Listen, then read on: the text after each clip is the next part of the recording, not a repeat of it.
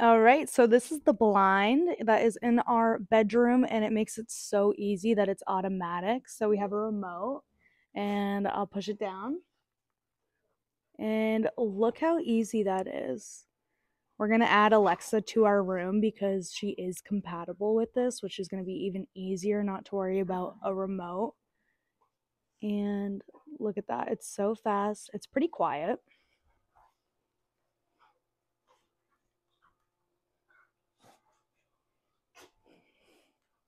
Definitely recommend.